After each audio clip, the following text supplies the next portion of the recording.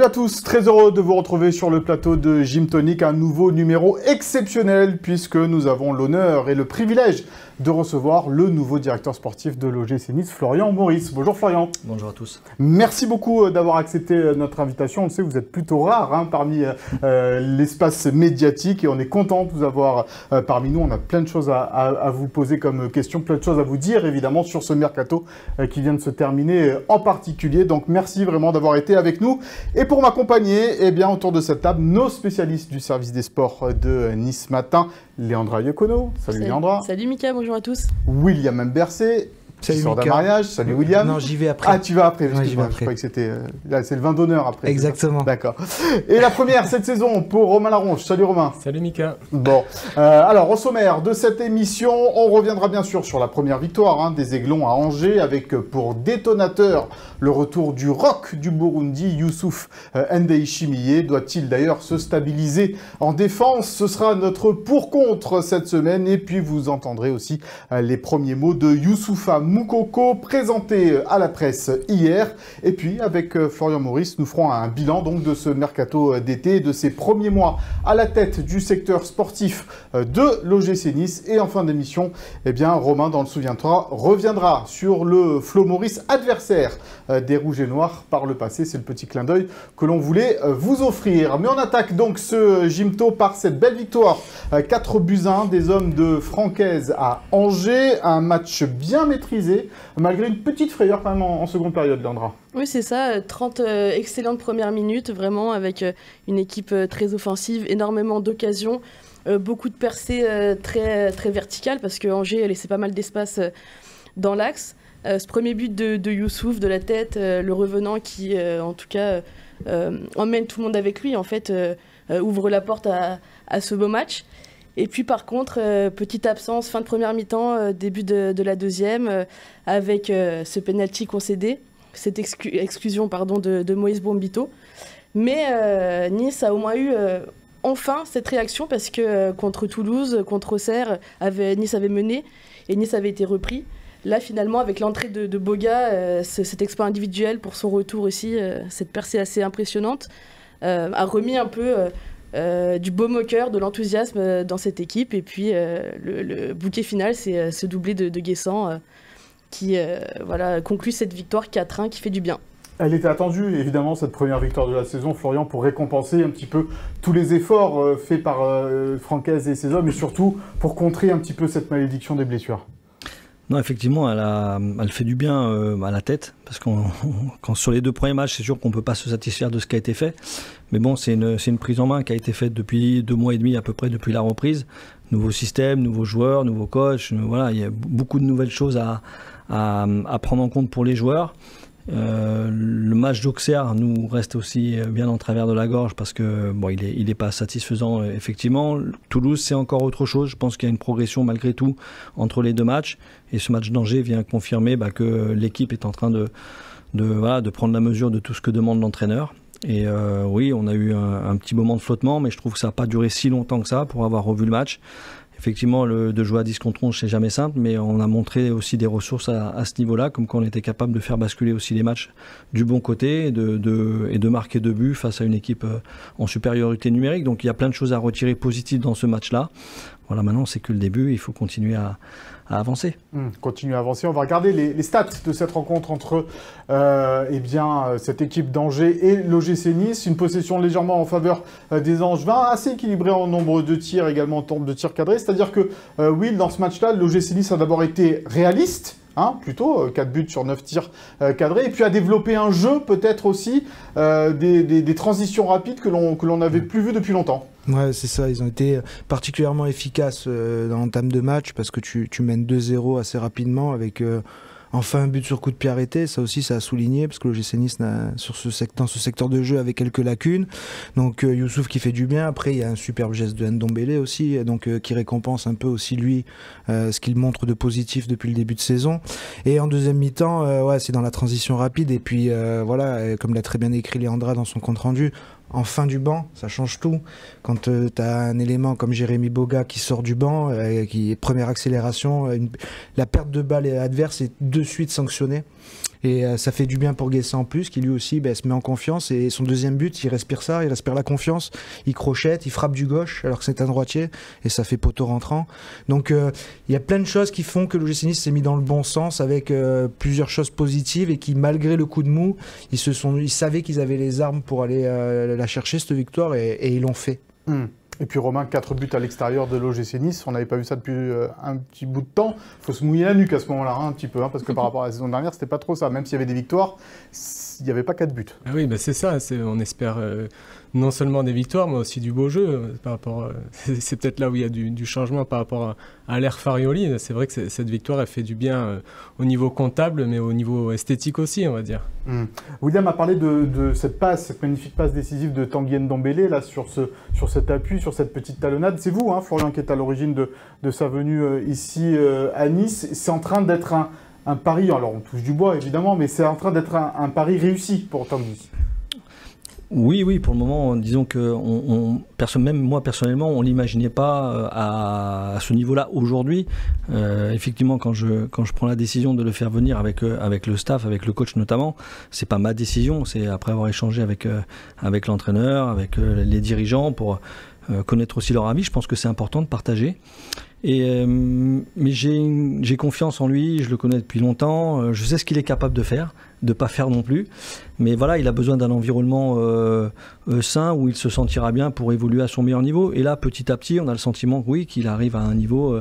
c'est pas encore son meilleur niveau, c'est pas encore ça son meilleur niveau. Je pense qu'il a encore une marge euh, de progression, comme on dit habituellement, mais je pense qu'il est sur le bon chemin. Hmm, le bon chemin, et on le voit déjà dans le jeu, hein, Léandra, euh, décisif donc avec cette passe euh, décisive, mais pas seulement. il, apporte beaucoup aussi de, dans, ce milieu de terrain niçois. Bah, en fait, sur sa capacité à utiliser le ballon, moi je suis pas surprise entre guillemets, mais je suis plus surprise par contre dans tout ce qu'il fait dans le repli défensif, même s'il n'arrive pas encore à le faire sur l'intégralité d'un match. Mais je trouve que là-dedans, dans le pressing très haut, en fait, il est très intéressant et il a récupéré plusieurs ballons comme ça qui ont amené des occasions euh, euh, rapides parce que ça va beaucoup plus vite devant aussi. Donc sur ça, moi, je suis plutôt satisfaite. Après, voilà, j'ai envie de le voir faire. C'est ce qu'on disait la semaine dernière avec William tout au long d'une saison et aussi pour le moment tout au long d'un match parce qu'il mm. a tendance un peu à disparaître encore. c'est encore un peu normal avec mm. la condition physique et effectivement le fait qu'il vienne euh, d'arriver également. On va regarder le classement même s'il peut paraître anecdotique euh, après euh, trois journées de, championnat mais pour voir quand même que l'OGC Nice s'est replacé dans la première partie du tableau avec cette huitième place. C'est quatre points. Seul le Paris Saint-Germain a pour l'instant fait carton plein dans cette Ligue 1. Marseille et cette équipe surprenante de Nantes, hein, il faut le dire pour le moment, voire même le Havre, mais ça on le savait avec Didier Digard euh, comme entraîneur, on mhm. savait qu'il pouvait faire quelque chose de, sympa, euh, cette équipe du Havre. Euh, mais oui, le classement c'est anecdotique bien sûr, Will, mais il faut pas non plus perdre trop de, terrain avant la Coupe d'Europe.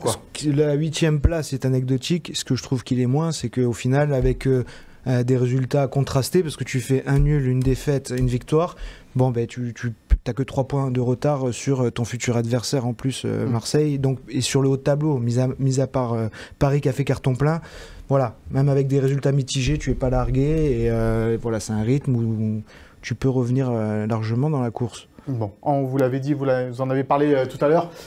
c'est Youssouf Ndai qui a marqué le premier but de cette rencontre. C'est notre focus de la semaine.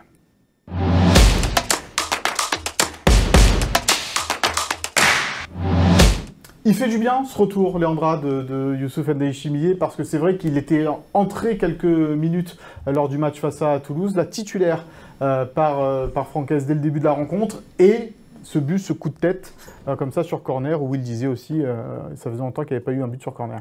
Voilà, il va apporter entre guillemets une, une, autre force, une nouvelle munition, grâce aussi à Jonathan Klaus, parce que lui apporte sa qualité et sa plus-value justement de, de, ce point de vue-là. Après, c'est sûr que Youssouf, moi j'étais plutôt surprise à la titularisation. Je pensais que le coach allait peut-être patienter un peu avec la trêve. Euh, Là, tu l'avais pas mis dans ton équipe. Non, avec la trêve à venir. et, justement, il m'a beaucoup rassuré sur le plan physique. Euh, voilà, on savait qu'à un moment donné, il, avait peut-être quelques kilos en trop. Là, on le sent quand même assez affûté. Vraiment, il fait un, il fait un super match. Euh, il a ce côté très serein, très rassurant, je trouve, dans, sa manière d'être, dans ses ressorties du ballon aussi. Donc le soldat Youssouf est de retour et ça fait du bien. C'est une bonne nouvelle ça Romain pour l'OGC Nice parce que c'est vrai qu'on parlera tout à l'heure dans le pour-contre de, son positionnement mais c'est vrai qu'il peut tout faire Youssouf aussi. Ah bah oui, mais de toute façon c'est son gros point fort, sa, polyvalence, son impact physique que, que ce soit au milieu en défense, bah là, on l'a vu sur, sur, le corner, il prend, il prend le dessus sur son vis-à-vis. je pense s'il revient au niveau physique, c'est une très bonne nouvelle pour le gym. Hmm.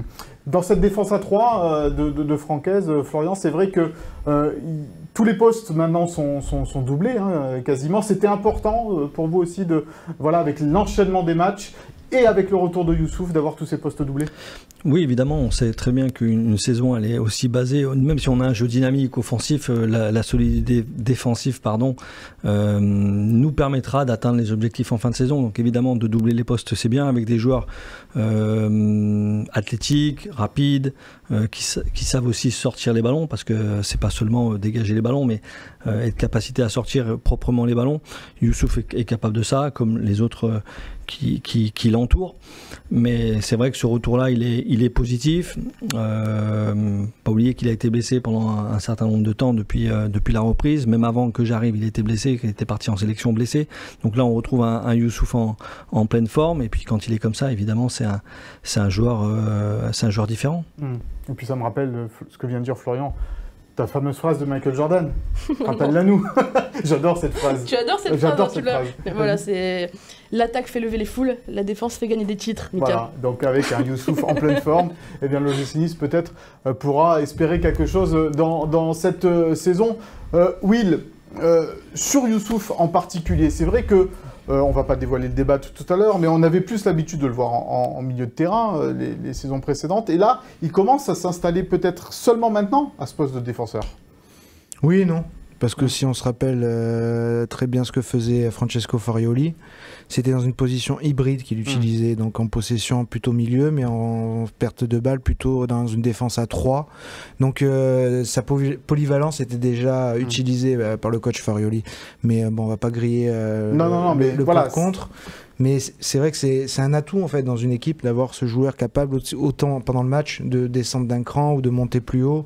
Euh, ça peut changer aussi pas mal de choses pour le coach euh, et avoir un peu plus d'impact euh, en cours de match sur son équipe. Hmm. On en parlait les, semaines précédentes, mais on va se mettre deux secondes à la place de Francaise, même si on ne l'est pas.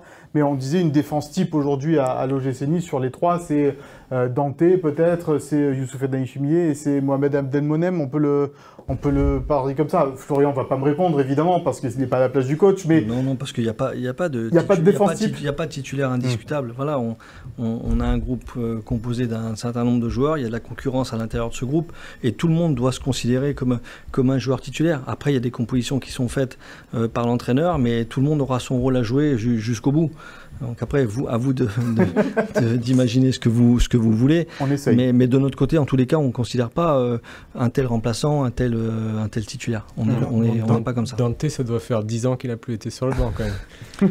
oui, oui, effectivement. Euh, mais il est évident que dans la série de matchs qu'on va avoir à jouer, peut-être qu'il va y avoir de la rotation et puis vous le voyez très bien, on a quelques petits pépins euh, physiques ces derniers temps. Ça ne veut pas dire qu'on en a beaucoup maintenant, qu'on n'aura peut-être pas après. Donc il faut être vigilant, il faut avoir un effectif assez, assez élargi, étoffé pour pouvoir justement jongler là-dessus. Hum. On va rester sur le thème de Youssouf Ndiaye avec le pour-contre.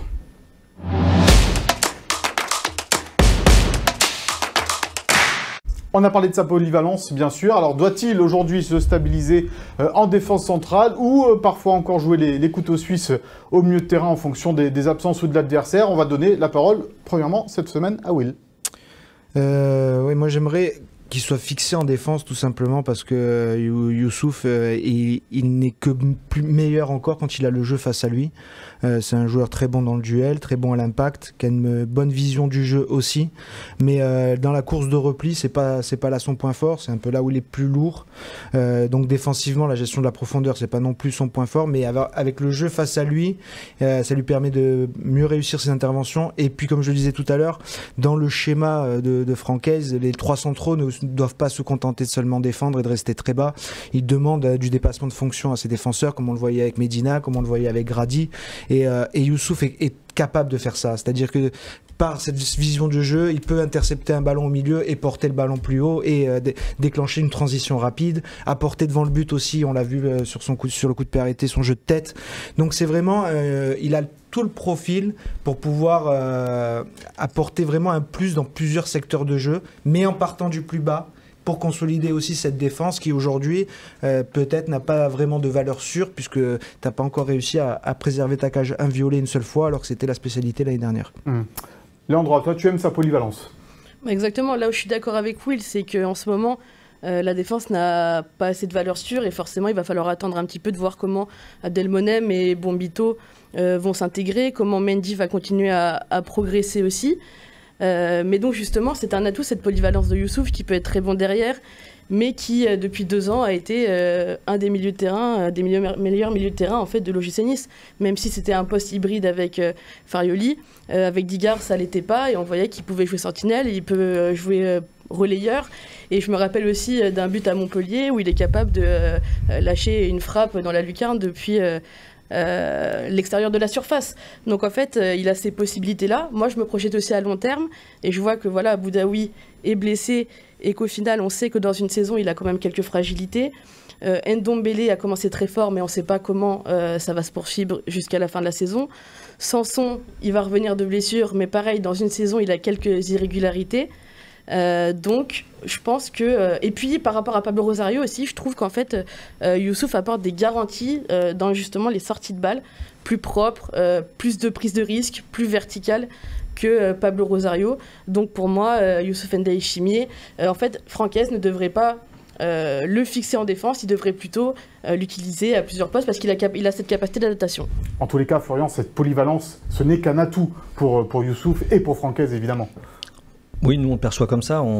La plupart des joueurs qu'on essaye de prendre, ou que j'essaye de prendre, ou que habituellement j'aime choisir, j'aime qu'il joue à plusieurs postes. Voilà, parce qu'on ne sait jamais ce qui peut se passer dans, un, dans une saison et c'est toujours important d'avoir ce type de joueurs-là qui sont capables, pas forcément d'être fixés à un poste et jouer que ce poste-là.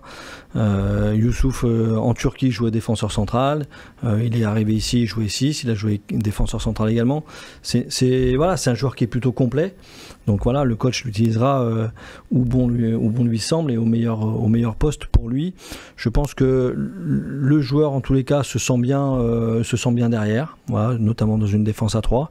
Mais voilà, euh, comme le disait Léandra, il y a, quelques blessures, donc il pourrait être amené à peut-être jouer un peu plus haut de temps en temps. Voilà, donc, mais c'est voilà, c'est un joueur qui va nous faire énormément de bien durant la saison.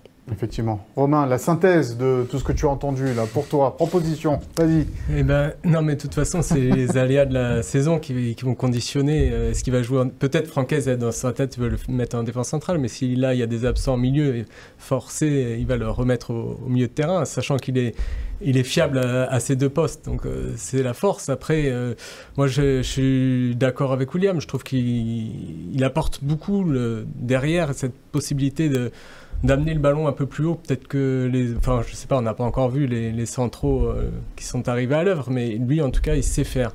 Après, il y a eu le recrutement de deux défenseurs centraux. Donc c'est peut-être pas forcément derrière qui va jouer. L'avenir nous le dira.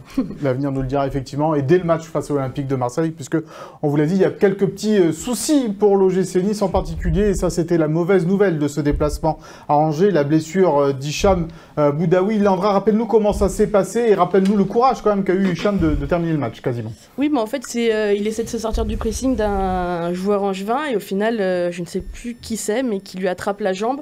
Et il y a une belle extension du, du, genou. Comment? C'est pas Abdelli là? Je crois que c'est Abdelli. Et il reste un petit peu à terre. Euh, au final, la mi-temps est sifflée et il revient avec un bon gros strap sur le genou. Mais il continue à jouer euh, toute la mi-temps, il me semble, ou presque, et, il continue à jouer à un, très bon niveau parce que même en fin de match, c'est lui euh, qui, est, qui est au démarrage en fait, du dernier but de Guessant. Hmm. Donc vraiment, il a serré des dents au courage. Ça a été une surprise, Florian, finalement, la entre guillemets gravité de cette blessure quand on voit Hicham continuer quasiment jusqu'au bout? Oui, quand le lendemain matin il arrive en boitillant, même après le match, il, avait des douleurs, mais on n'imaginait pas euh, cette blessure-là, malheureusement. C'est triste nouvelle pour, lui, en premier lieu, mais surtout pour nous, parce qu'il fait un début de saison euh, incroyable. je connaissais le joueur. Autant la saison passée, il n'a pas fait une super saison, manque de confiance certainement. Mais j'ai souvenir de l'avoir eu quand je suis arrivé. je lui dis voilà, si tu retrouves le niveau que tu as eu il y a deux saisons, y a pas, ne t'inquiète pas, tu auras du temps de jeu, tu joueras et tu seras performant. Et sur les trois matchs, c'est un but, une passe D, euh, des kilomètres avalés, des ballons récupérés et bien donnés ensuite. Donc euh, voilà, c'est une perte assez importante pour nous, mais on devra compenser et, faire, et faire 100 pendant un petit moment. Et c'est comme ça, ça fait partie de, des saisons. Le problème avec Hicham aussi parfois, euh, Will, c'est que ben voilà, il a ses bonnes phases et puis derrière il y a une petite blessure qui vient le freiner. Ouais, il, a eu euh, quelques problèmes euh, récurrents, euh, notamment au niveau du dos. c'est ça qui l'avait vachement contrarié ces dernières saisons.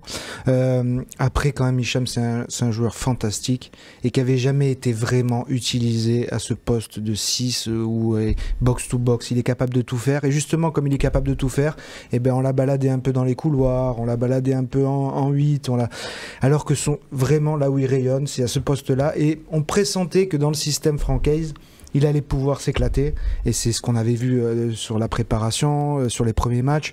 Là, à Angers, mais il fait un match incroyable. Parce que tout à l'heure, on parle de Ndombele. C'est vrai qu'Ndombele fait de bonnes choses, mais Ndombele peut faire de bonnes choses parce qu'il y a Hicham aussi à côté qui, avale un nombre de kilomètres euh, incroyable, qui techniquement est capable de redoubler avec Ndombele parce que si on voit Rosario à côté d'Ndombele, je suis pas sûr que ce soit la même qualité technique.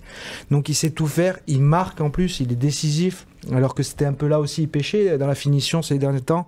Euh, c'est vraiment un coup dur parce que euh, je suis persuadé que c'était euh, le joueur qui cette saison pouvait vraiment vraiment porter l'équipe très très haut parce que c'est un joueur incroyable. Bon, il va revenir assez vite quand même. C'est pas, c'est pas une, rupture. C'est pas, c'est pas, c'est pas un croisé. Il y en a pas pour six mois. Donc voilà, on va en tous les cas les, les médecins, les kinés sont, sont au travail pour essayer de le, le, remettre sur pied le plus rapidement possible. Après voilà, faut pas non plus prendre de risques démesurés il reviendra quand il, aura, quand il sera à 100%. Et c'est vrai qu'on compte énormément sur lui cette saison. Hmm. Ces blessures, Romain, euh, quand même, depuis le début de la, saison, empoisonnent cette équipe de, de l'OGC Nice. On parle de Terem Moffi, Morgan Sanson, euh, Gaëtan Laborde, euh, Hicham Boudaoui là maintenant. C'est vrai que commencer une saison avec autant de handicaps, et en plus quand il y a un nouveau coach, c'est compliqué. Bah, c'est sûr que c'est pas le. Enfin, je, je pense qu'au club, c'est pas le début de saison espéré à ce niveau-là, mais bon. Euh, c'est quoi C'est la faute à pas de chance Je sais euh, pas. C'est ce que la, mauvaise euh, qualité de la pelouse, ça, ça, a pu avoir un même si bon là c'était pas c'était pas l'Alliance, mais ils ont ils ont joué la semaine d'avant à l'Alliance. Est-ce que la mauvaise qualité de la pelouse, ça a pu avoir un impact sur les organismes? C'est difficile à dire. Après, la préparation a été, a été, a été bonne dans l'ensemble euh, sur le plan athlétique. Les joueurs sont montés crescendo euh, euh, sur, le plan, sur le plan physique. Après, c'est souvent des accidents. Voilà, un croisé, Terem, voilà, c'est. On, a eu quelques pépins musculaires, oui, mais. on connaissait la, enfin, les docteurs nous disaient, on connaissait la fragilité à ce niveau-là de, de Terem Moffi. On savait qu'un jour ou l'autre, ça pouvait péter. Je ne sais pas. C'est ce qu'on a entendu en tous les cas euh, du côté de... Non, après voilà, c'est des accidents comme Gaëtan, c'est un cinquième méta, c'est voilà. Sanson, c'est un duel d'entraînement. Voilà. Hicham, c'est un contact là. Voilà, c'est difficile de dire. Mm. Euh, telle, personne est responsable parce que la préparation ou quoi que ce soit. Je suis pas du tout là-dedans, au contraire. Euh, maintenant, l'idée c'est de voilà de, basculer. On n'a on pas le choix de, de, regarder vers l'avant. Et comme je disais en, préambule, on, a beaucoup de blessés aujourd'hui. Ça ne veut pas dire qu'on en aura plus pendant. Voilà, on se dit voilà, on en a 6 ou 7. Bah non, maintenant on va hmm. faire 8 euh, mois ou 9 mois avec. Sans euh, blessure. Ça, on ne peut pas savoir. Hmm. En tous les cas l'effectif est fait pour pallier ce genre d'événement et on essaye en tous les cas d'avancer. Euh, mais c'est sûr que c'est toujours euh, difficile de voir ces joueurs, entre guillemets, 11, 12, 13, 14 joueurs qui sont euh, potentiellement des joueurs de, de, Ligue 1 ou de Coupe d'Europe, bah, ne pas pouvoir évoluer sur le terrain et c'est évidemment un handicap. Comment réagit Francaise face à cette blessure de Boudaoui Là, pour le coup, ça... Ah, il n'a pas sauté de joie. Non, il n'a pas sauté de joie, évidemment, parce que euh, c'est sur ce début de saison, saison pardon, c'est un joueur très important. Donc quand on perd euh, un joueur très important euh, euh, pour quelques semaines, bah, c'est toujours toujours gênant. Mais je, dis toujours qu'il faut regarder de l'avant et, d'autres d'autres vont revenir et ça permettra peut-être à d'autres de compenser et de, de se révéler aussi. Hmm. On parlera du match face à l'Olympique de Marseille la semaine prochaine. On attendra évidemment de connaître toutes toutes les forces, mais il faudra aussi composer avec une nouvelle composition d'équipe pour Franck Hez. Cette semaine, la présentation de Youssoufa Mokoko a été faite du côté du bah, de l'académie, du centre d'entraînement plutôt de, de l'OGC Nice. Léandra, on y était évidemment hier et on a découvert un jeune homme plutôt sympathique et affable sympathique, affable, euh, sûr de lui, mais pas trop non plus. Euh, ça, voilà, ça, ça, basculait pas dans la prétention. Hein. C'était vraiment, on sent un joueur ambitieux qui a, euh, qui a envie de s'inscrire dans ce projet niçois, qui a été très bien accueilli et ça, il l'a répété plusieurs fois. Et qui, j'ai l'impression, en tout cas, a hâte là de, jouer ses premières minutes parce que Francaise voulait lui donner contre Angers. Le scénario du match n'a pas rendu ça possible. Mais là, on sent vraiment quelqu'un qui a envie de mordre dans le ballon et qui est là pour, euh, pour, euh, pour réussir. Euh, le recrutement de Youssoufa Moukoko, c'est parce que Terem Mofi s'est blessé ou il fallait une pointe supplémentaire dans cette équipe de, de Nice? Et la Non, pour, moi, il y a deux choses. Il y a évidemment la, la blessure de Terem, mais on avait Evan et, Gaëtan pour jouer 9-9. Il nous fallait, avec la blessure de Gaëtan, qu'il y en a pour deux mois et demi, peut-être trois, je ne sais pas exactement euh, la durée exacte, mais voilà, l'idée c'était quand même d'avoir deux attaquants de pointe euh, pour, pour au moins euh, faire la grande partie qui nous attend entre septembre, octobre et novembre. Quoi. Hmm. Voilà. On va l'écouter pour euh, ses premiers mots, Youssoufa Moukoko, sur son aspect euh, physique, parce que c'était un joueur qui a eu euh, parfois quelques petites blessures du côté du Borussia Dortmund. Il est devant la caméra de Philippe Bertini. Ja, ich hatte ein Jahr, wo ich äh, viel verletzt war. Äh, ich hatte Faserriss die ganze und irgendwann mal kam dann die Entscheidung so für mich, was kann ich für mich so bessern, ob so Ernährung, ob so Training und dann habe ich mich so mit ähm, Athletiktrainer, Physiotherapeut so außerhalb von Verein so beschäftigt. Und am Ende haben die mich hinbekommen, dass ich wenig Verletzungen hatte. Und letztes Jahr, ich hatte nur eine Zerrung gehabt. Und jetzt fühle ich mich so fit und bereit, ähm, übernächste Woche gegen Marseille zu spielen. Voilà donc pour les, les, premiers, les premiers mots, vous n'êtes pas effrayé évidemment par ces petites blessures de, de, de, de Youssoufa euh, Non, comme il l'explique très bien, il a mis en place des choses dans sa vie qui lui ont, permis, qui lui ont permis l'année passée d'avoir une petite blessure musculaire. Donc euh, voilà, nous on va prendre soin de lui également. Euh, je pense qu'on a une cellule performance qui est, qui, est, qui est, très intéressante et très importante, qui va mettre en place aussi des choses pour lui. Et puis voilà, on est heureux de, on est heureux de, l'avoir, on a hâte de le, de le voir évoluer. Hmm. C'est un joueur qui était convoité aussi par d'autres clubs français euh, cet été. À un moment donné, l'Olympique de Marseille s'était aussi euh, intéressé à lui. Est-ce à dire que l'OGC Nice a réussi un, joli coup en le faisant venir ici en, prêt avec option d'achat? Ah ben dire que c'est un joli coup, on peut difficilement dire euh, non parce que c'est quand même une référence, c'est quand même un joueur, on en a parlé la semaine dernière, du Borussia Dortmund, donc euh, un grand club européen. Lancé par Lucien Favre. Lancé par Lucien Favre, qui compte aussi deux sélections internationales, donc qui a déjà touché euh, au plus, haut niveau, qui a joué la Ligue des Champions. Donc euh, c'est pas ce qu'on appelle un, pari absolu. en revanche, c'est vrai qu'il y avait ces, pépins musculaires, cette trajectoire un peu qui a stagné ces dernières saisons, qui fait qu'on ne sait pas trop où on va, la découverte d'un nouveau championnat, la découverte d'une nouvelle langue. Donc il y a des paramètres certains, mais comme sur tous les transferts. Euh, après, c'est sûr que Moukoko, c'est pas non plus euh, un anonyme. Hmm. Oui, c'est déjà un nom au niveau européen et en particulier par le il fait a quelques références. Voilà, c'était un, joueur très prometteur. Hein. Il, a, il, a, émergé très jeune. On en parlait la semaine dernière, à, près de, de, 16 ans. Et on lui a demandé, d'ailleurs, on lui a posé la question est-ce que c'est maintenant le moment de confirmer pour lui Écoutez sa réponse. Ey, sag mal, wie es ist. Äh, an Anfang ist meine Karriere oben gegangen. Ähm, also ich sehe nicht, dass das so nach unten geht, sondern ich sehe einfach, dass das so stehen geblieben ist, weil ich so wenig gespielt habe, viel mit Verletzungen zu tun hatte. Und jetzt, sagen wir mal, wenn ich so anfange zu spielen, wird auch, auch so wieder nach oben so gehen. Also ich weiß, was ich kann äh, und was ich nicht kann. Und ich habe Vertrauen in mir. Äh, und ja, am Ende will ich wenig reden und einfach mehr auf dem Platz so tun. Äh, ich bin eh jemand, der wenig reden, äh, einfach nur auf dem Platz die Antworten so gibt und das war ich immer und das werde ich immer so sein. Äh, also ich bin auch ein bisschen überrascht, dass ich heute so hier sitze und Pressekonferenz so geben, weil das nicht in meiner Natur so ist. Aber umso mehr freue ich mich auch, dass, dass ich so sehe, was die Vereine auch so an mich so äh, sehe und diese Vertrauen, diese Glauben will ich auch so Danke sagen an Nizza, dass sie so zu mir so schnell gekommen sind. Ähm, ja, und ich freue mich auch hier zu sein. Il est prêt, euh, Florian euh, Youssoufa, à, à jouer euh, dès le match contre Marseille. Lui, il en a envie en tous les cas. Oui, oui, je pense que bon, il s'est pas arrêté de s'entraîner depuis trois mois. hein. donc euh, là, il était en préparation avec le Borussia. Il est arrivé euh, où ça faisait peut-être 4-5 jours qu'il s'entraînait plus, mais là, il a, là, il a repris. Il a une dizaine de jours pour pour euh, pour être pour s'affûter, pour connaître ses partenaires. euh, donc euh, voilà, il est non, non, il est il est bien. Il a un très bon état d'esprit. Euh, bon, il a fait la conf en, en allemand, mais il, Mm. il a un- il Il parle très, bien oui, il non, il comprend. Il parle très bien français. Mm. Donc euh, pour lui, pour son adapta- adaptation, c'est c'est largement mieux. Hmm, parce qu'il est d'origine camerounaise, hein, je Oui, crois. tout à Ouais, ouais.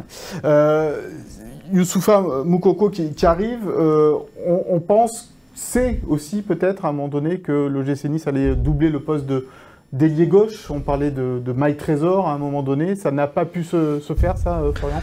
En fait, il y a beaucoup de rumeurs qui sont, euh, qui sont relayées par les médias, par les réseaux, etc. Après, euh, on, on tra- moi, je travaille de manière avec mon équipe, je travaille sur beaucoup, beaucoup, de, tout, sur tous les postes pour essayer d'être euh, à l'affût de bonnes opportunités. Euh, après, ne, pas oublier non plus que à ce poste-là, euh, on a Jérémy Boga, qui a été blessé mais qui est en train de revenir. On a Sofiane Diop qui est là également. Donc voilà, on a aussi euh, en réflexion ce genre de choses pour dire qu'est-ce qu'on fait vraiment, quoi. Et pour Moukoko, il y a une option d'achat, euh, évidemment. Et tout l'intérêt pour le GC Nice, c'est que c'est de lever cette option d'achat, parce que ça voudra dire que Youssoufa Moukoko a fait une énorme saison à Nice. En gros, c'est ça. Oui, effectivement, quand on fait un prêt, c'est rare que les clubs maintenant font des prêts secs, euh, sans option. Voilà, là, il y a une option qui est, qui est élevée. Évidemment, elle se, le- on, sait- on décidera la lever ou pas en, en- en fonction de ce qui se passera. Mais euh, voilà, c'est un joueur prometteur, c'est un jeune joueur. Euh, il a besoin, entre guillemets, de, dire, de lancer ou lan- relancer vraiment sa carrière. Je pense que euh, le, football est aussi une question de timing. Et je pense que le, bon endroit pour lui, en tous les cas, je l'espère, et pour lui et pour nous, euh, que ce soit le GC Nice. que- du côté de, de l'OGC Nice. Alors, à l'occasion de cette conférence euh, de presse également, le président Jean-Pierre River a fait un petit point sur la pelouse de l'Alliance Riviera. Vous le savez, elle est dans un état pitoyable, lamentable. Les mots sont pas assez forts pour la décrire. Euh, pour le moment, bah, écoutez, le président River, il revient donc sur, sur cet état des lieux de, de cette pelouse de l'Alliance Riviera. Bon, ça discute toujours, c'est compliqué parce qu'on a des positions divergentes. Euh, tout le monde, je pense, a conscience qu'il est absolument nécessaire et obligatoire pour le club d'avoir une pelouse de grande qualité pour faire une saison complète et pas faire des petits bouts de, saison. Euh, voilà, euh, plusieurs options sont sur la table. Je ne sais pas laquelle in fine sera choisie, mais c'est un vrai, vrai sujet de préoccupation pour nous et euh, qui est un sujet quotidien. Donc euh, j'espère que nous obtiendrons gain de cause et que nous aurons une très belle pelouse pour disputer les épreuves que nous avons à faire. Voilà, L'idée, c'est évidemment de la changer, hein, cette pelouse, vu dans quel état elle est. C'est- la honte un peu, Florian. Et vous en êtes pas responsable, évidemment, mais c'est un peu bien la sûr. honte. Non, mais c'est scandaleux de jouer sur des terrains comme ça. Aujourd'hui, euh, dans les années 90, euh, c'était, on était assez coutumier de ça, mais aujourd'hui, les terrains sont notés, euh, les clubs sont notés par rapport au, au- au- au jeu aussi et, au- et aux pelouses. Alors c'est pas pour, euh, c'est pas parce qu'on a fait match nul contre Toulouse, voilà, mais quand on joue sur un terrain qui est, qui est beaucoup plus euh, euh, gazonné, sympa, bah, le jeu est meilleur, et il peut se passer beaucoup plus de choses. Mais c'est vrai que c'est, c'est, c'est injouable sur une pelouse comme ça. Mhm. Pour l'adversaire également, attention, hein, mais bien en tous les cas, été- c'est pas digne d'un club de, de Ligue 1. Elle a été notée 2,5 sur 20, je crois, la pelouse. De- mais encore, 2,5 c'est généreux. Ouais, 2,5, c'est pour c'est l'écriture, tu sais, à l'école, quand tu faisais un cork, bah, parce qu'il y avait des bouts verts. bien. C'était bien tracé, Non, mais on pour l'anecdote, les deux clubs ont, noté un cha- ont mis la note de 1 chacun et c'est l'arbitre qui a été un peu plus généreux. Ah, Ah ouais. l'arbitre a été généreux sur. Bah, Généreux, euh, entre mais bon, guillemets. des généreux à 2,5. Qu'est-ce qu'il faut faire là? Oui, il faut. Il faut... Bah, Faut arrêter de tergiverser, là, faut la changer, C'est le quoi. problème de ces PP, les partenariats PPP, les partenariats public-privé, en fait, parce Mm. que, euh, ben, en fait, personne n'a le même, euh, le même intérêt, le même objectif. Euh, Ness, en fait, leur intérêt, c'est de dépenser le moins possible. Le GC Nice, leur intérêt, c'est d'avoir le meilleur terrain possible. Et en fait, ça, ça coïncide pas, ça concorde pas. Et donc, si euh, Ness joue un peu de la mauvaise foi en prime, bon, ben, c'est c'est le GC Nice qui en pâtit. Et, et je trouve que ce qui est malheureux, en plus, c'est que la Ligue ne s'est pas mise du côté de l'OGC Nice. Parce que si la Ligue, la semaine dernière, avait dit, ben non. Ils ont un Euh, peu d'autres chats à fouetter sur- en ce moment, la Ouais, Ligue. mais, mais en fait, ce qui- c'est pas seulement l'intérêt de l'OGC Nice, c'est l'intérêt Bah, de la sûr, Ligue du- 1 et du du spectacle. spectacle. Ça va dans le sens des droits TV. Si vous voulez que les gens s'abonnent, faut qu'il y ait du spectacle à la télé qui soit aussi appréciable. Et donc, quand vous faites jouer un match comme ça sur euh, du, ça aurait dit un terrain stabilisé, Et à Monaco, c'est la même chose. hein. voilà, mais c'est pas, ça va pas dans le sens du spectacle et ça va pas dans le sens de la santé des joueurs. Donc en fait, je trouve que même là-dedans, la Ligue n'a pas joué son rôle. Hum. Et à Monaco, ils ont pris la décision tout de suite de la changer parce qu'ils ont un match contre le Barça le ouais, mais 19 c'est qui qui gère la pelouse à Monaco? Eh ben, le, le stade appartient au ministère de l'Éducation euh, nationale de, de Monaco. Monégasque, la principauté. La principauté. Ah, c'est pas pareil. si Donc, c'était euh, la mairie de Nice qui s'occupait de la pelouse, avec tous les courriers qu'a fait euh, Monsieur Estrosi, ben, Monsieur Estrosi aurait fait changer la pelouse. Lui. Pour l'instant, c'est lettre morte, euh, tout ça. Ben euh, oui, parce que c'est pas lui qui décide. Mais j'ai peur qu'on qu'on doive s'habituer à ce type de situation en, en début de saison euh, l'été, parce qu'il faut se rappeler l'an dernier, il y avait des restrictions, euh, il y avait interdiction Oui, d'arroser. D'arroser. oui. Cette année, C'est pas le cas. Ouais. Et quand on a, euh, je sais plus, euh, 60 nuits tropicales euh, consécutives, forcément, quand on arrose pas, là c'est pas le cas, mais quand on n'arrose pas parce qu'il y a des restrictions euh, préfectorales, eh ben, le, le gazon ne peut pas tenir. Ouais, enfin, en Espagne où il fait chaud aussi. euh, C'est- euh, des types de gazons différents, à mon Ouais. avis, mais c'est vrai que c'est pas logique d'avoir une pelouse comme ça, même si peut dire il y a eu les Jeux Olympiques dessus. Voilà. Elle était Euh, parfait- en parfait état, hein, pendant les bon, Jeux. Moi, je pense qu'elle a, été, voilà, été contaminée. Il y, a un, Ouais. il y a un champignon qui est arrivé dessus, Ouais. qui, est- qui est difficile de traiter maintenant, mais aujourd'hui la seule solution, euh, il y en a qu'une pour moi, c'est qu'il faut la changer, tout va simplement. changer, euh, évidemment. Et, et l'OGC Nice, Landra peut prendre une amende, hein, d'ailleurs, hein, si jamais la pelouse était euh, encore en mauvais état C'est face ça. à la Saint-Etienne. A priori, euh, au bout de trois matchs d'affilée, normalement, avec une note de moins de 10, euh, amende. D'accord. Et donc là, c'est l'OGC Nice qui doit payer l'amende pour quelque chose dont il n'est pas. Enfin, je pense qu'il pourrait se retourner contre, Tout à fait. contre l'exploitant. Oui, mais si l'exploitant fait le sourd au courrier euh, de relance, il peut faire le sourd aussi quand tu lui réclames euh, une, une amende. Ouais. Enfin, bon. Les relations entre- C'est- euh, J'ai l'impression que c'est le serpent qui se mord la queue cette Hmm. histoire et Après, ils sont pas dans une bonne situation financière, hein, Costa Bah, c'est pour ça qu'ils Ah, ils économisent surtout. à, payer, à payer une nouvelle euh, pelouse. T'as pas, euh, t'as pas un petit, De l'argent petit pécule ouais, pour payer une nouvelle pelouse l'OGC Nice c'est- Un petit pas jardinier un peu de pécule pour le mercato, un peu de pécule pour la pelouse, on va pas y arriver là. On va faire un, un téléthon Jim. pour la pelouse de le- de l'OGC À qui Nice. Ah, je sais pas qui c'est. Bon, alors, on va, on va passer à l'indiscret, euh, Léandra, parce qu'il devait y avoir un autre joueur qui devait être présenté euh, hier soir euh, du côté de l'OGC Nice, et puis ça s'est pas fait. Tu vas nous expliquer tout ça.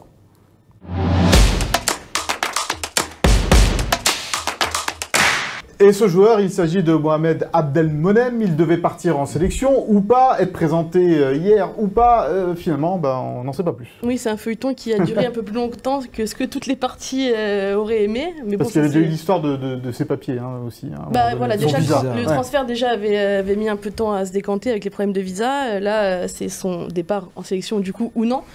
Parce qu'en fait, le joueur en fait, a fait la, la demande d'être exempté euh, d'aller en sélection. Euh, L'Égypte joue euh, dans le cadre des éliminatoires de la Cannes.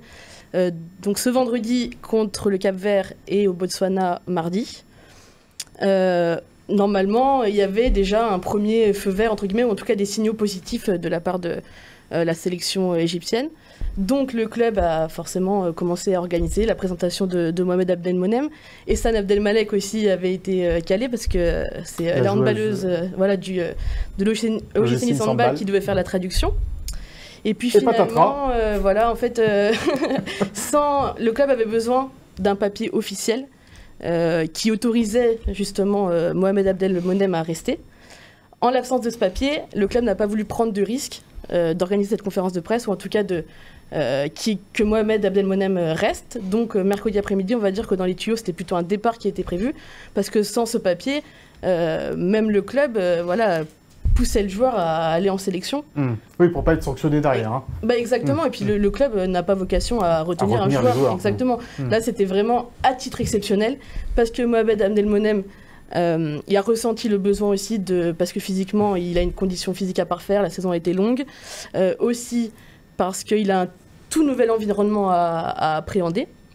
Donc, ça, ça a été des négociations. Euh, on va dire que le joueur a eu le team manager de l'Égypte, a eu euh, le sélectionneur, a même eu euh, Mohamed Salah au téléphone parce que le capitaine de la sélection a un poids important oui. justement dans, dans, dans ce genre de négociations. Et puis finalement, l'aval est arrivé, euh, l'accord oral est arrivé hier soir, Trop tard pour la présentation. trop tard pour la présentation, mais qui Mm. sera reporté à la semaine prochaine avec euh, Ali Abdi. Oui, c'est ça. C'est un, un, coup Reculer pour rien, mieux quoi. sauter. Ouais, reculer pour mieux sauter. Mais c'est voilà, il y a eu des petits soucis de visa, des petits soucis comme ça avec. euh, Oui, il y a- il y a- pour moi, il y a plusieurs choses. Il y a un, euh, la volonté du joueur euh, de vouloir s'installer dans son club à son, à son arrivée, et après euh, la volonté de l'équipe, du, de, de- moins de la nation euh, égyptienne, de voir ses joueurs arriver pour jouer des matchs. Et euh, effectivement, euh, c'est des dates FIFA, donc les clubs doivent, sont obligés de libérer leurs joueurs. Donc il fallait qu'il y ait, entre guillemets, des négociations entre Mohamed Abdelmonem et son, sélectionneur, qui ont un peu tardé, mais on a reçu le courrier effectivement hier soir. Donc il est là Il est là. Il bougera pas pendant cette trêve internationale. Exactement. Donc voilà, je remercie évidemment la sélection égyptienne parce que euh, les conditions pour lui d'arrivée, euh, d'intégration seront beaucoup plus simples, je vais dire, euh, sur les 15 jours qui arrivent, que s'il avait été obligé de repartir en, en, sélection. Voilà, je comprends que ça soit difficile pour, pour l'Égypte, pour le joueur on parlait en préambule, en, avant-émission, où il y, avait, qu'il y avait beaucoup de matchs internationaux, mm. euh, beaucoup de matchs pour les internationaux. Bah, voilà, il, va, il va louper deux matchs avec sa sélection, mais ça ne veut pas dire qu'il n'y retournera pas. Mm. Et nous, en tant que club, on, doit, on se doit aussi, bien évidemment, de pouvoir libérer les joueurs sur les dates, sur les dates FIFA. Mais ça a été accepté aussi parce que c'est un joueur qui est irréprochable avec sa sélection, qui, euh, qui donne beaucoup. Ah, c'est une idole. Euh, hein, c'est une idole, voilà. Il y a Mohamed Salah, il y a Mohamed Abdelmonem en défense. Donc euh, c'est même justement pour ça moi que je pensais que ça allait pas pouvoir mm. se faire hein, parce que euh, un joueur comme ça euh, qui est tellement publicité dit non et qui et, qui pour des matchs en plus éliminatoires de la Cannes hein, si c'était des matchs amicaux bon mm. donc franchement la fédération égyptienne c'est beau. Elle va être importante son intégration, évidemment, Florian, hein, parce que c'est un joueur voilà, qui a évolué dans le championnat égyptien, qui est une star en Égypte, qui est dans le plus grand club égyptien et qui arrive, qui ne parle pas la langue, évidemment. Donc euh, ça va, il va falloir y aller euh, progressivement avec lui. Effectivement, il va falloir un peu de temps. Voilà, il ne faudra pas être pressé avec lui, même si lui, il, est, il a une détermination incroyable de vouloir s'imposer très rapidement. Mais effectivement, voilà, quand on change de, on change de culture, on change de pays, on change de langue, on change de football, euh, voilà, on, va, on, on espère en tous les cas qu'il fera les choses bien et il va les faire euh, de, bonne manière, mais qu'il y aura un peu voilà, de, de, calme autour de lui, pas lui mettre trop de pression. Et puis voilà, je suis convaincu que petit à petit, il va, il va mettre les pieds dans l'équipe et que ça se passera bien pour lui. Juste en termes de traduction, comment ça va se passer euh, quotidiennement il, a un petit, il a un petit anglais quand même, donc voilà. Et puis, euh, on a des téléphones aujourd'hui qui font Google, Google, Trad, Google Traduction. Et puis, il y a certains joueurs qui parlent arabe. Oui, oui Hicham, Hicham, parle. Il y a des relais dans Exactement. Oui, d'ailleurs, Hicham avait été un peu euh, décidé comme un relais, justement. C'est ce que vous avez mis en place, ça Ouais, c'était un peu son, son tuteur, quoi. Voilà, sur lequel on pouvait, avec lequel on pouvait échanger les traductions auraient, été plus simples. Ah oui, donc l'absence en plus des terrains là de d'Hicham ne favorise pas ça non plus. Mais on va en trouver d'autres. on, le sait. Romain, tu voulais euh, par rapport à, Abdelmonem, c'est bon voilà, il arrive avec une certaine euh, quand même euh, statut. Réputation. Ouais, réputation. Oui, c'est sûr. Après, je vais être honnête, hein, je l'ai jamais vu jouer au foot. Oh, nous non plus. Il n'y a que Florian Maurice sur le plateau qui a vu jouer au foot. Mais justement, si vous pouviez décrire ses qualités en Bah, vous, l'avez vu sur le plan physique, c'est pas un joueur qui, est, très haut, qui est très grand, mais euh, qui est très dynamique, qui est très agressif, euh, qui a une capacité à sortir les ballons, parce qu'il peut jouer autant axe gauche, axe droit ou, même axe-axe. Euh, voilà, capacité à jouer sous pression, de l'engagement dans le duel. voilà, c'est un bon footballeur footballeur et puis qui a une certaine maturité maintenant parce que euh, jouer en Égypte dans, des contextes comme ça c'est jamais simple. Beaucoup de monde au stade une pression euh, euh, des supporters et médiatique qui est très très très importante. Donc voilà je pense qu'il va nous faire du bien aussi dans les matchs où ça va être peut-être un peu plus chaud c'est le travail de, scouting que vous aviez effectué auparavant dans vos clubs précédents, par exemple à, Rennes, que vous le connaissiez, ou l'OGC Nice s'intéressait déjà à lui avant que votre arrivée? Non, l'OGC Nice avait déjà euh, identifié euh, le joueur depuis quelques, quelques mois, je crois. J'ai pas les dates exactes, mais il était déjà identifié à l'OGC Nice. D'accord. Donc là, c'est derrière, vous reprenez les négociations. Tout à fait. Ok. Eh ben, on va en savoir plus justement sur votre boulot du côté euh, de l'OGC Nice depuis votre arrivée. C'est le tac au tac.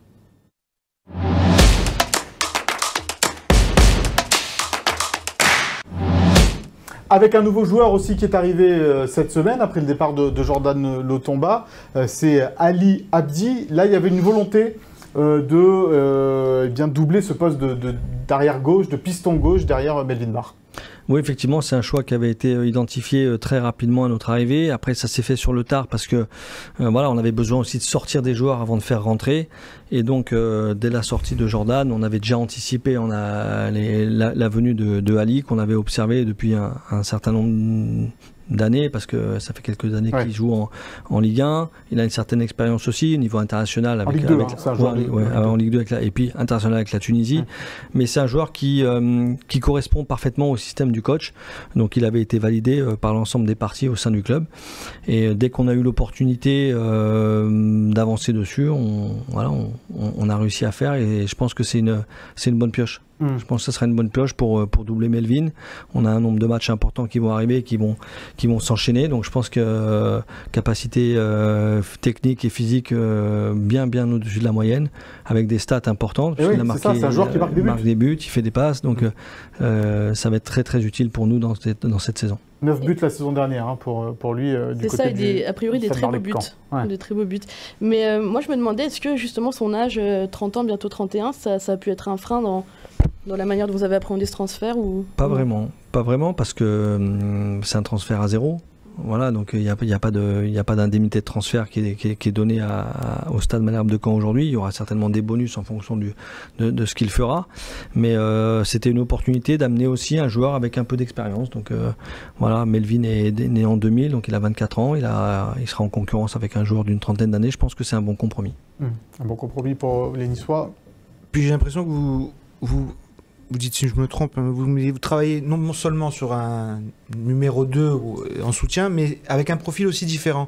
On voit euh, Klaus, euh, profil plutôt offensif, avec un loucher derrière qui peut être plutôt défensif, et de l'autre côté, Barr et, Ali Abdi qui ont aussi des profils plutôt opposés. Oui, l'idée c'est d'avoir un, essai d'avoir un compromis entre les deux, euh, parce que Melvin a des qualités aussi pour jouer un peu plus haut aussi également. Euh, Ali était pas un mauvais défenseur loin de là, mais c'est vrai que ce sont deux profils différents. Donc Ali pourra peut-être nous amener un peu plus sur les aspects off, mais après ça dépendra des matchs, de ce que voudra le coach à un moment donné. Mais c'est des voilà, c'est je trouve que c'est complémentaire. Voilà, même s'ils jouent pas ensemble, mais euh, en tous les cas, c'est c'est des profils qui, je pense, dans ce système-là, peuvent être euh, vraiment très intéressants pour le coach. On va faire un petit bilan de ce mercato, euh, premier mercato de Florian Maurice euh, à l'OGC Nice. On va regarder euh, les départs et les arrivées du côté niçois. Il y en a eu pas mal hein, de chaque côté, évidemment.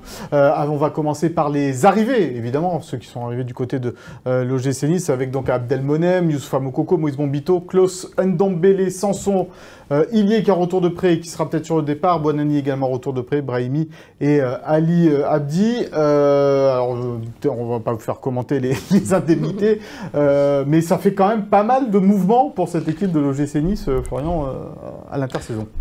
Ouais, je je je fais pas euh, par rapport au nombre, je fais- c'est pas ça. C'est l'idée, c'est de à chaque fois d'essayer d'améliorer l'équipe. Voilà, et puis euh, améliorer une équipe, c'est pas forcément faire venir, mais c'est peut-être aussi des fois faire sortir. Euh, donc voilà, ça a été le cas euh, sur, sur ce mercato-là. Après, faire un bilan aujourd'hui, c'est très difficile parce que on est en, dé- on est en début de saison, on sait pas Mhm. exactement comment ça va se passer, donc on attendra peut-être la fin de saison. On C'est aura ce qu'on dit peut-être hein, pas le même le ouais. même le même bilan à l'instant T qu'on aura en fin de saison. Donc, mais voilà, dans l'ensemble, on est plutôt satisfait avec que ce soit le coach, Jean-Pierre Hiver, Fabrice Boquet. Euh, on, a travaillé ensemble euh, sur, ce mercato-là.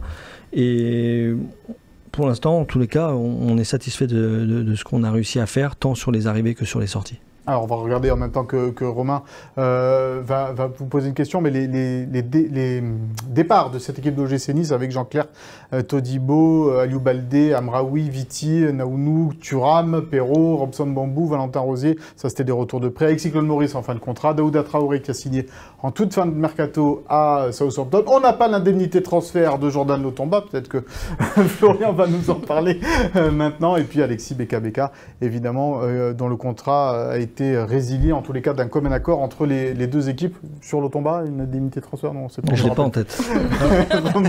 On, on parle du mercato avec des départs et des arrivées, mais il y a aussi euh, les joueurs que vous avez réussi à, à retenir.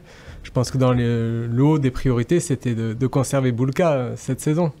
Tout à fait, on est en négociation encore avec euh, Marcine pour une prolongation. On a prolongé Melvin euh, hier ou avant-hier. Voilà, l'idée aussi, euh, c'est de, de, de s'appuyer sur les forces vives euh, du- de l'OGC Nice aujourd'hui en prolongeant les joueurs et pas- en se retrouvant avec des joueurs à un an du terme. Donc il y a Antoine Mendy aussi qui a prolongé, euh, Evan. Evan Guessant Antoine également, Mendy. Antoine Mendy. Donc voilà, des, aussi des joueurs formés au club, ce qui est important pour l'avenir du club, pour, euh, montrer aussi une image d'un club qui est en capacité à garder ses jeunes joueurs et, et surtout à les faire jouer.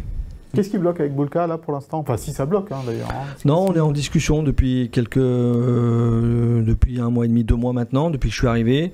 Voilà, il y a deux trois euh, choses encore qui bloquent, mais j'ai bon espoir qu'on arrive à, convaincre Marcine de, s'engager sur un projet à, moyen long terme avec euh, avec l'OGC Nice. Hum, en tous les cas, c'est son souhait lui aussi. Hein.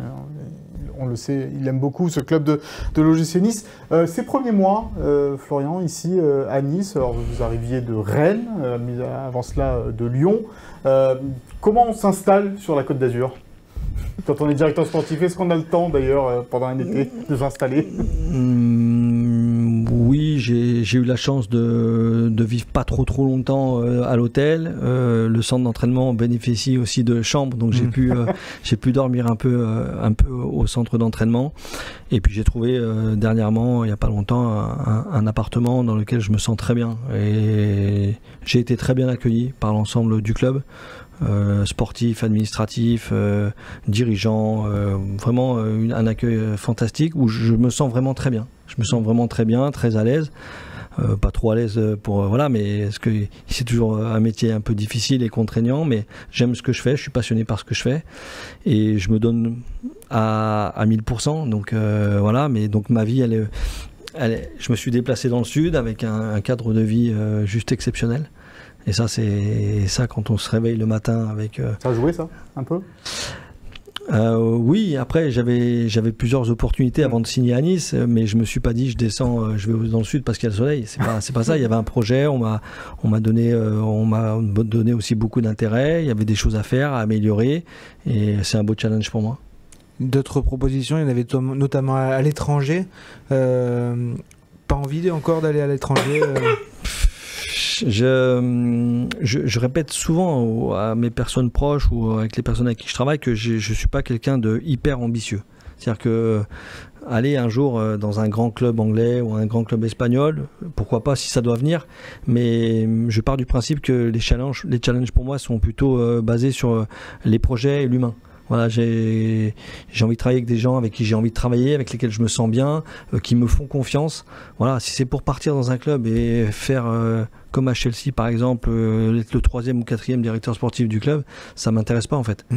Voilà, donc voilà, j'ai ce projet là aujourd'hui. J'espère euh, le développer le plus longtemps possible. Mais j'ai pas l'ambition de me dire voilà, j'ai fait Lyon, j'ai fait Rennes, Rennes plutôt en tant que directeur sportif et, Nice en tant que directeur sportif. À Lyon, je ne l'étais pas. Mais, euh, mais j'ai recrutement à Lyon. Voilà, mais j'ai pas, je me dis pas ouais, le prochain step c'est euh, non, hmm. je suis là, je suis très très, pas, pas du tout. Je suis très bien ici et j'ai envie de me voilà, j'ai envie de m'investir et je m'investis au quotidien et je me sens bien et je me dis pas allez, dans trois ans, tu pars là-bas. C'est pareil en tant que joueur Parce que bon, vous avez quand même fait Lyon, Paris Saint-Germain, Marseille, euh, le Celta Vigo, ce sont des, grands clubs. Oui, oui, après, euh, c'est des opportunités de marché. En fait, je quitte Paris parce qu'on ne me veut plus. Hmm. Mais je serais bien resté à Paris à l'époque. voilà, vous étiez tête de gondole en plus, hein, quand vous voilà, je, vais, hein. je, quitte, je, quitte, au bout d'un an. Donc, euh, voilà, c'est des carrières qui sont un peu comme ça. Mais non, non, je suis vraiment très, très heureux ici. Vraiment très heureux. Euh, on parlait du projet tout à l'heure. Est-ce que le projet euh, sur lequel vous travaillez aujourd'hui, c'est celui qu'on vous a vendu? Parce qu'on sait qu'avec Ineos, c'est toujours un peu compliqué. Euh, Florent Ghisolfi, par exemple, votre prédécesseur, on lui avait vendu quelque chose. Au final, c'est pas ce qu'il a, c'est ce qu'il a eu. on, allez, on va dire, on, va, on connaît cette année l'OGC Nice un peu plus près de ses sous que les années précédentes. Est-ce que c'est en adéquation avec ce que l'on vous avait dit? Oui, oui totalement. Mm. Non, non, là-dessus, je suis pas, euh, je suis pas déçu du tout. Euh, je, je, fais avec ce qu'on me donne. Et évidemment, euh, de par les droits TV qui ont chuté considérablement, on a été obligé aussi de modifier certaines choses. Mais ça me fait pas peur parce que je suis entouré de très très bonnes personnes, que ce soit Fabrice Boboquet, Jean-Pierre River, Francaise et son staff, et on est dans la même dynamique en fait. Et c'est le football, c'est pas évidemment, il faut des moyens pour pouvoir recruter des bons joueurs, mais euh, j'essaie de m'adapter, de faire avec ce que j'ai. Et euh, le recrutement qui a été fait là, avec des joueurs libres, avec des joueurs euh, peut-être un peu plus âgés comme Jonathan, mais qu'on a payé 4 millions demi, 5 millions d'euros. Voilà, pour moi, j'ai pas, j'ai pas vocation à dire il me faut 25 millions pour acheter un joueur. Hmm. C'est non, un, groupe ça fonctionne pas comme ça. Un, groupe ça fonctionne. vous aimeriez les avoir parfois? Vous auriez aimé nous avoir sur ce mercato là? Sur quel Je très honnêtement, je ne suis pas, je m'y suis pas posé la question parce que euh, je savais que je les avais pas. Donc, tous les joueurs, euh, voilà. Mais mais mais c'est pas grave en fait. Mm. C'est pas ça qui me qui me freine, c'est pas ça qui me bloque, c'est pas ça qui me dit on va pas arriver à atteindre l'objectif parce qu'on va créer quelque chose en fait. On va créer quelque chose avec euh, avec l'ensemble du staff, avec les dirigeants, pour que les joueurs qui sont là, eh ben, donnent 100, 120%, 130% de ce qu'ils ont. Et je suis sûr qu'à un moment donné, euh, ça va fonctionner. Regardez, l'e- l'exemple, il est très clair pour moi. Est-ce que qui imaginait que Brest termine troisième la saison, la saison passée? Personne. Qui aurait misé 1 euro ou 2 euros sur les joueurs que Brest euh, a fait jouer l'année dernière? Donc voilà, donc ils ont créé quelque chose entre eux. Voilà, le staff, les dirigeants, le public, tout ça, on va avoir besoin de tout le monde. Ça, c'est une certitude. Mais je suis convaincu que l'argent, évidemment, dans le football, il en faut. Euh, le talent, il en faut. Mais je, base beaucoup euh, mes recherches sur l'état d'esprit des joueurs. Et c'est pour moi, c'est capital. Le talent, c'est bien, mais le travail, c'est mieux. Dans cette période, vous le dites, hein, d'austérité un petit peu en raison des droits télé qui baissent, c'était impossible de, de retenir des joueurs comme euh, Todibo et Thuram quand on a des belles offres comme ça? Non, et puis de toute façon, pour moi, c'était très clair quand je suis arrivé. On m'a dit il y a deux joueurs qu'il faut faire partir. Donc j'étais, c'était clair et net euh, que euh, JC et euh, Kefren partiraient. Euh, après, c'était se bagarrer pour avoir le- les plus, plus gros, possible, les plus ouais. gros montants possibles. Avec la Euh, Juve, c'est pas évident de se bagarrer. Non, c'est un peu dur. Mais à la fois, on a réussi à faire un deal qui, est, qui me semble aujourd'hui, à l'instant T, cohérent quand on voit le marché aujourd'hui. On n'a pas vu beaucoup de transferts comme il y a quelques années, à des, des 40. Bon, on a réussi quand même avec, euh, avec JC. Mais quand on arrive à un an du terme du contrat non plus aussi, pour, comme Kefren, euh, d'avoir euh, autour de 20 voire plus euh, millions, c'est quelque chose qui pour moi euh, euh, est euh, cohérent et, et bien. À un an de la fin de son contrat, c'est même plutôt bien vendu. Et on- Mm. même si les chiffres, on n'est jamais sûr, mais plus ou moins, on se rend compte que Nice a acheté avec les 20 millions de, de Kefren Turam. Globalement, Ouais. dans la fourchette. euh, Les 20 millions de suffit- même s'ils les ont pas encaissés, parce que c'est des paiements plusieurs fois, Mhm. donc euh, c'est pas 20 millions. Mais globalement, avec l'enveloppe de Thuram, euh, l'OGC Nice a fait un mercato. Est-ce que c'est parce que aussi l'OGC Nice fait la Coupe d'Europe comme Manchester United cette année qu'il a fallu encore plus réduire dras- drastiquement les, les- les- les dépenses et que l'actionnaire ne pouvait peut-être pas subvenir aux besoins de Niçois Oui, alors je suis pas un grand comptable, mais euh, euh, Fabrice Boquet sera largement meilleur que moi pour vous expliquer tout ça. Mais l'idée, c'est qu'aujourd'hui, comme on joue la même compétition euh, que Manchester United, on n'a plus le droit d'avoir aucun contact avec, euh, avec Manchester et Ineos. Hmm. Donc euh, un budget avait été préalablement défini et à partir de là, on peut plus, on peut plus le bouger. Hmm. Donc euh, voilà. Si Manchester n'avait pas. euh, Je pense que ça sera différent. Ça aurait été différent. Ouais. Ah, en plus, ça s'est joué à rien. hein.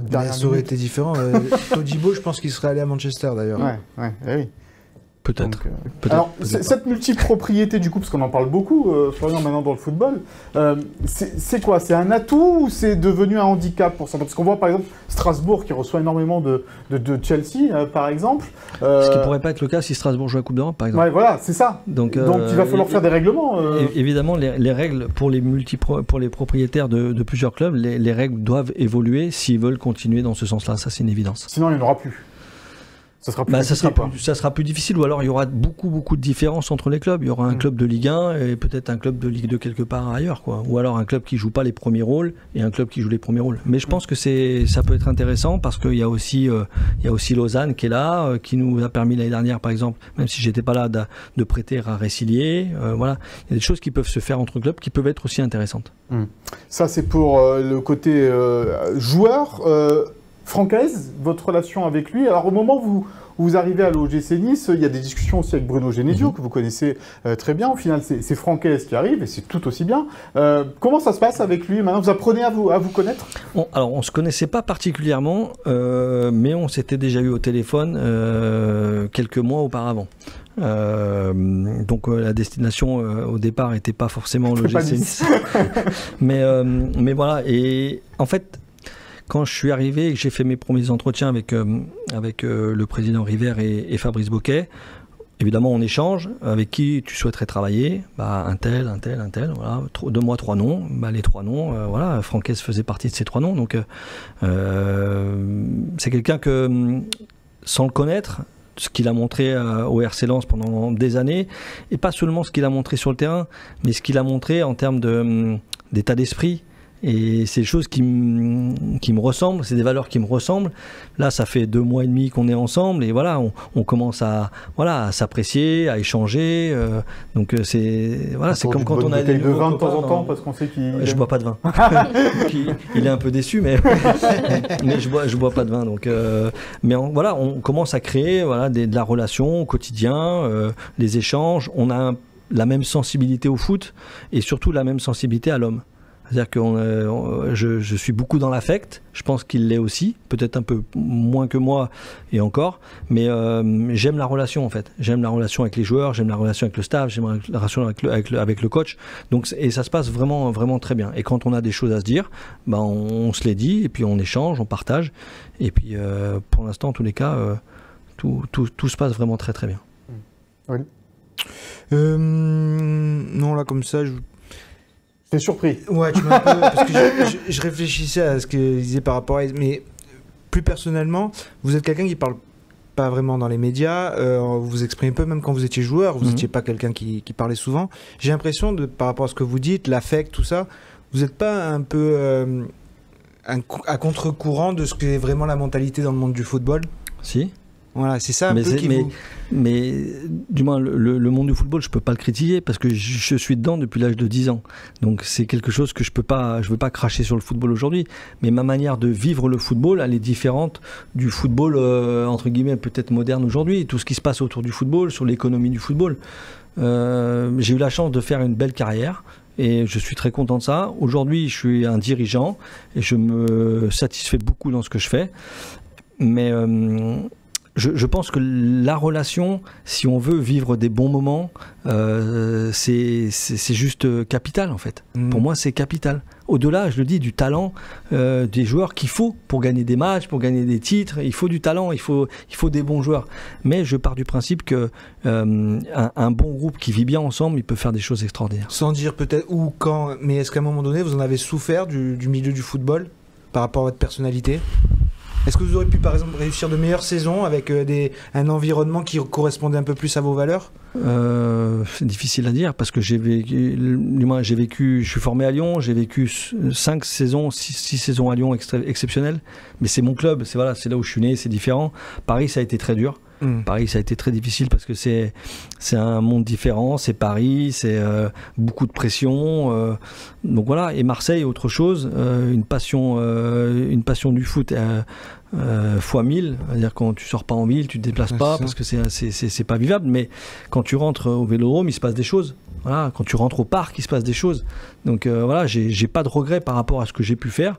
Est-ce que c'est mon monde? Bah j'y vis dedans, donc je, voilà. Est-ce que c'est ce que je préfère euh, dans le dans le football business? Non, loin de là, non, pas du tout. On va parler de la Coupe d'Europe un petit instant aussi. On va regarder le, le calendrier de l'OGC Nice puisqu'on a eu les, dates exactes des matchs que, les joueurs de l'OGC Nice euh, vont jouer donc euh, sur cette Europa League, Ligue Europa. Euh, on, a parlé un petit peu de, ce groupe, on en parlait la, semaine dernière. On disait abordable. On va pas dire euh, facile, on va pas dire difficile, on disait abordable. Il y a, il y a de cela aujourd'hui dans voilà, cette volonté de, de finir dans les 24 premiers de, de- de ce groupe? Oui, oui, c'est une volonté. Quand on débute une compétition, on va aller le plus loin possible. Et euh, effectivement, ce groupe, euh, il y, a, il y a de la qualité quand même. Hein. Real Ah oui, Sociedad, Lazio, Mhm. il y, a, il y des très bonnes équipes. Je pense que voilà, il faut pas se, hum, il faut pas euh, se sentir petit dans ce groupe-là. Voilà, il faut simplement aborder les matchs comme on aura la volonté de le faire, c'est-à-dire pour les gagner, pour se qualifier. Euh, mais je pense qu'on on est capable de, de faire de bonnes choses dans ce groupe-là. Il y avait des plus gros morceaux dans le chapeau. hein, je, donc, je- euh, je pense aussi. ouais, Ouais, ouais, je donc, pense. Jouer la Sociedad à domicile à et, aller à Rome, c'est peut-être quelque chose qui est un peu plus abordable pour Et le tu les joues les deux les- d'entrée C'est ça le Real, problème. Lazio, et après tu fais le reste. Donc euh, peut-être au révélateur tout de suite, euh, je sais pas. Après, ce sera pas facile d'aller euh, en Scandinavie euh, Non, euh, au mois de, Ah oui, au mois de. Mais ils jouent plus. Mais Ils jouent pas, ils ils sont- pas voilà, exactement. Il y a, il y a Ouais. plein de choses qui peuvent être intéressantes pour nous à ce moment-là. Nous, on sera en compétition, eux le seront plus. Voilà, après. Ils ont une meilleure pelouse, hein, sur Ouais, tout façon. à fait. Même au mois de janvier là-bas. À voir si c'est pas un synthétique. Oui, C'est un synthétique, ouais. ouais. Je pense bien que c'est un synthétique. Un petit mot pour, pour en terminer, parce que c'est vrai que c'est l'actualité aujourd'hui. On en parlait juste un, un peu avant l'émission. Il y a la FIFPro, qui a euh, le syndicat euh, des, des- des joueurs mondial, qui a dit voilà, aujourd'hui, la cadence des joueurs, c'est trop. Euh, Il faut peut-être euh, mettre un frein euh, à tout ça. Il y avait un, un- un chiffre. On projette 80 matchs euh, pour certains joueurs en, en 2025. Vous, vous êtes directeur sportif, vous êtes donc au cœur de cette, euh, entre guillemets, euh, machine-là. Aujourd'hui, il faut réfléchir vraiment à cette cadence euh, des joueurs. Je pense que oui, parce que hum, l'idée, c'est pas d'avoir des effectifs de 40 joueurs. Donc, euh, il faut euh, réfléchir à ce qu'il y ait moins de matchs internationaux. Mais je parle surtout pour les internationaux. C'est-à-dire que au-delà des matchs qu'ils ont à jouer, ils ont des voyages à faire. On en parlait un peu tout à l'heure, mais Moïse Bombito, par exemple, il a fait 8 heures de, de vol pour aller jouer aux États-Unis. Il y a un décalage horaire. Il va revenir. Bon, il est suspendu, donc c'est autre chose. Mais- récupérer. mais, euh, mais voilà, mais c'est sûr que la, la cadence des matchs pour les joueurs internationaux, elle est, elle est, elle est trop trop importante aujourd'hui pour, euh, pour la santé des joueurs avant tout. La Il faut arrêter cette course en avant de rajouter des compétitions tout le temps. Coupe du monde des clubs, championnat du monde des clubs. Après, on est tellement passionné par le foot qu'on a envie de voir des matchs, quoi. Mm. Euh, mais c'est sûr que pour les joueurs, c'est une cadence infernale. Et on a vu quand même avec ce nouveau format de la Ligue des Champions, ça suffit quoi. On se régale déjà de voir tous ces, c'est ces ça, j'ai l'impression qu'on Mm. veut rajouter des compétitions comme cette Coupe du Monde des clubs Mm. pour encore euh, rajouter des matchs, faire de l'audi- de l'audience. euh. De l'argent, hein, faut oui, le dire mais aussi. on l'a vu avec l'Euro, euh, au bout d'un moment, trop de matchs, les joueurs ils en Ah peuvent oui. plus, euh, ça- c'est la fatigue, ça- le, le sport perd de l'intérêt en fait, le spectacle perd de l'intérêt. Donc euh, il y a aussi cette réflexion-là. Par contre, euh, ce, nouvel, ce nouveau format de la Ligue des Champions et de la Ligue Europa aussi, ça m'emballe plutôt en revanche. c'est Euh, très excitant. hein. alors qu'à ça, la ça base- tue dans l'œuf. Ouais, à la base, l'idée, quand on te disait ouais, on va faire une ligue et Ouais, tout, non. ça. Et puis voir le tirage en fait, et puis voir les affiches que ça donne, c'est Mm. pas mal en fait. La Super League, là, c'est définitivement mort avec une formule comme ça. C'est ce qu'a voulu aussi Ouais, l'UEFA. on n'est pas très loin quand même. Du moins, Oui, on, a, le- dans le on a- format, on a- ouais. on a des affiches euh, très rapidement qui sont juste exceptionnelles. Donc, euh, Ça a pour, été le, pour le téléspectateur et le spectateur, franchement, c'est Ouais. c'est top. Ouais, on a hâte d'y être évidemment. Même Brest, imagine Brest, bon, ils vont avoir du mal, mais Le Real et Barça. le Real, le Barça, c'est- c'est Ouroudourou. c'est- c'est génial, c'est génial. Ouais. clair. Bon, ça c'est pour la Coupe d'Europe. Euh, Évidemment, on suivra attentivement le premier match de l'OGC Nice. C'est contre la Real Sociedad à domicile pour cette euh, Ligue Europa. Romain, on va passer au Souviens-toi.